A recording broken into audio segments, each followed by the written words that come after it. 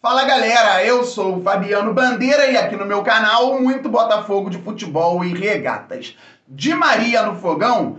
Calma! O Tuto Esporte, um dos principais veículos de comunicação esportiva da Itália, soltou uma notícia na manhã deste sábado que deixou o torcedor alvinegro com a pulga atrás da orelha. Segundo o site, o Botafogo sonha com Di Maria para depois da Copa do Mundo. Ainda segundo o Tuto Esporte, Di Maria ainda tem a possibilidade de permanecer na Juventus da Itália ou ir para o clube do coração Rosário Central da Argentina. O diretor de futebol do Botafogo, André Mazuco, negou a possibilidade para o jornalista Jorge Nicola. Mazuco disse para que esqueçamos o tema de Maria. Mas eu quero comentar sobre isso neste vídeo, porque há outras peculiaridades no assunto e temos que ter muito cuidado nessa época sem jogos oficiais. Cuidado para os dois lados e vamos entender juntos no vídeo. Tem também conteúdo histórico, seleção brasileira e Botafogo de futebol e regatas. Antes de tudo isso, eu peço para que você se inscreva aqui no canal Fabiano Bandeira. É simples, rápido, fácil e grátis. Tem um botão embaixo do vídeo inscrever-se. É só clicar e fazer parte desta família maravilhosa que torce para o fogão e acompanha o canal Fabiano Bandeira diariamente. Já é inscrito? Traga novos inscritos. Vamos passar dos 41 mil, passamos dos 40 mil e 200. Depois vamos muito além, pois o glorioso é gigante. Deixe o like, isto é fundamental para o crescimento do canal e ative o sininho para que você receba as notificações de todos os vídeos e todas as lives aqui do canal Fabiano Bandeira. Pois é, galera, bem fez o Mazuco, que negou a situação envolvendo Botafogo e Di Maria, até porque, por mais que haja indícios, é mais fácil Di Maria não vir para o Botafogo. É um jogador extra classe, está ligado a uma final de Copa do Mundo. Teve problemas recentes com lesões Jogou pouco na Copa, por isso pouco em termos de tempo, mas pode ser que apareça amanhã na decisão contra a França. Só que é um jogador de futebol excepcional. Então é muito difícil que o Di Maria venha para o Botafogo em qualquer circunstância. Bem fez o diretor de futebol ao esfriar as especulações.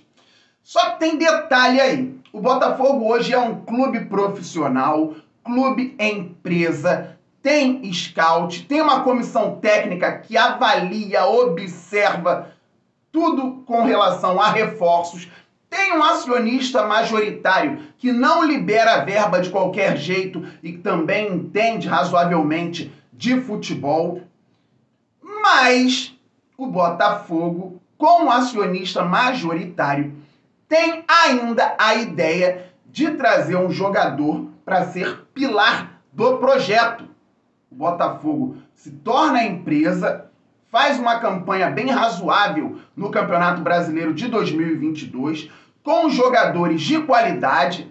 O Botafogo vai buscar um elenco ainda mais qualificado para 2023. Só que a ideia do Textor de ter um jogador extra classe como pilar ainda existe. Não é novidade para ninguém. O Textor pensou no Marcelo, tentou em algum momento o Cavani.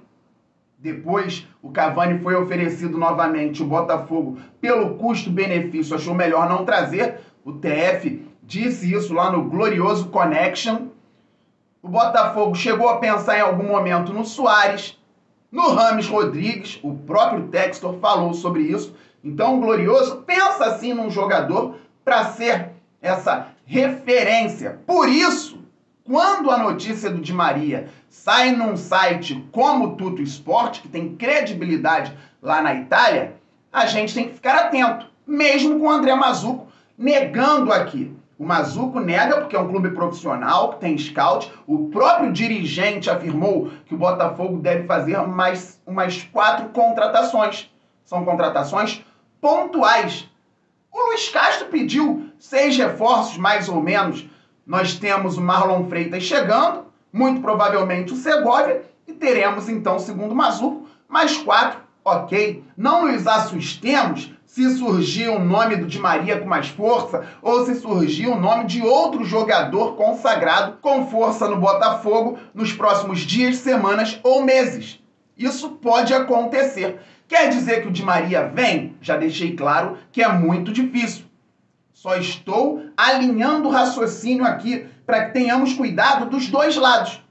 Não vamos comemorar. Olha, saiu no Tuto Esporte. Di Maria agora é do fogão. Que maravilha! Pode comemorar torcida alvinegra. Prepara o aeroporto. Não, mas também não precisamos nos chatear. Isso não existe. Para que perder tempo? Não, não estamos perdendo tempo. Estamos observando o que vem acontecendo. Então, como eu sempre digo, cenas dos próximos capítulos. Falando sobre algo muito importante, o Botafogo, há 27 anos, foi campeão brasileiro, 17 de dezembro de 1995. Fabiano, o tempo passa, o Botafogo só ganhou o Rio São Paulo de 98 e depois campeonatos estaduais. Não está na hora de parar de falar do Campeonato Brasileiro de 1995? Se não tivéssemos perspectivas, galera, eu também já estaria enjoado. Mas agora o Botafogo tem perspectivas para o futuro, então, principalmente neste momento, não podemos esquecer o passado. E aquele time de 95 pode ser referência para o time atual. Jogadores que honraram a camisa, jogadores vencedores. Em 17 de dezembro de 95, o Botafogo entrou para enfrentar o Santos com Wagner no gol, Wilson Goiano na lateral direita, Gotardo e Gonçalves na zaga, que zaga maravilhosa, e André Silva na lateral esquerda. No meio-campo, Jamir, Leandro Ávila, Beto e Sérgio Manuel. Donizete, Túlio no ataque, o Túlio Maravilha que fez o gol no empate em 1 a 1 lá no Pacaembu, fez as vezes do Donizete, porque o Donizete jogou com uma lesão grave na coxa. Mesmo assim, o Donizete fechou linha de marcação. Mesmo assim, o Donizete deu trabalho ao goleiro Edinho, que teve que fazer uma defesa num chutaço dele. Depois o Donizete chutou uma bola que desviou e bateu na trave. O Botafogo venceu com um time que tinha muita honra, com um time que tinha muita disposição. A torcida do Botafogo deu um show, como sempre, no ano de 95. Lembremos que o Fluminense havia vencido o Santos na semifinal no primeiro jogo no Maracanã por 4 a 1 e foi eliminado em São Paulo perdendo por 5 a 2. O Botafogo venceu o Santos no primeiro jogo da final por 2 a 1 no Maracanã. E muita gente já acreditava que o Santos, o Santos seria campeão, já que havia virado um placar muito mais difícil contra o Fluminense. Gonçalves, Túlio Maravilha, Donizete e outros incendiaram a galera no Maracanã. Eu estava lá no primeiro jogo com meus 11 anos de idade. A torcida fez aquela festa, deu aquela força e os jogadores foram confiantes para São Paulo. Túlio Maravilha chegou a dizer que o Botafogo não era o Fluminense e por isso seria muito difícil o Santos vencer o Botafogo. Então não teria jeito Botafogo campeão. Após a partida no Pacaembu, o Wagner falou: comemora agora a torcida do Santos. Comemora agora era um time de respeito. E os jogadores atuais podem pegar essa história como referência. Temos jogadores que têm identificação. O Rafael, por exemplo, é botafoguense. Isso é muito legal. O Gatito está no elenco se recuperando de uma cirurgia. Já está aqui há cinco anos, indo para seis. Já passou por bons e maus momentos no Botafogo. A zaga tem muita disposição, Adrielson e Cuesta. O Marçal, um jogador experimentado, está sempre com o Rafael, então já entende também o que é jogar no Botafogo. Temos o Tiquinho Soares, um jogador que quer vencer e falou sobre título para 2023. Temos outros jogadores também com características muito interessantes. E que o Botafogo traga outros jogadores de qualidade e que o time seja vencedor, como foi de 95. Conteúdo histórico: Botafogo Seleção Brasileira. Em 1978, os convocados do Fogão foram Rodrigues Neto e Gil. Em 1982, o goleiro Paulo Sérgio, que para muitos, incluindo meu pai, deveria ter sido titular naquela Copa. Em 1986, Josimar e Alemão foram convocados para a Copa no México. 78 na Argentina, 82 na Espanha, 86 no México. E o Josimar fez dois golaços naquela competição. Leandro abandonou a seleção brasileira. Josimar foi chamado às pressas, meteu um golaço no terceiro jogo da seleção contra a Irlanda do Norte, chutaço de fora da área, Brasil 3 a 0. E nas oitavas de final, Josimar dominou a bola, entrou driblando na área, chutou cruzado, um golaço, Brasil 4, Polônia 0. Em 1990, o convocado do Glorioso foi o zagueiro Mauro Galvão, bicampeão estadual pelo Fogão 89 sobre o Flamengo e 90 sobre o Vasco da Gama. A qualquer momento eu volto, estamos muito juntos. Saudações alvinegras, aquele abraço, valeu, fui!